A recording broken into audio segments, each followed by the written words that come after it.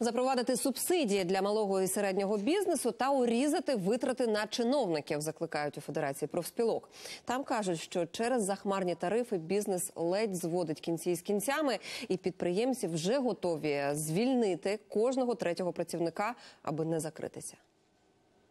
Такие отрасли, как химия, керамика, стеклопроизводство, сельское хозяйство и особенно малый и средний бизнес, который вынужден сегодня за энергоносители заплатить от 50 до 150 тысяч гривен каждый месяц, чтобы выжить, безусловно, терпят просто крушение. Скальпелем нужно сегодня отсекать все ненужные затраты на чиновников, на министров, на местном уровне.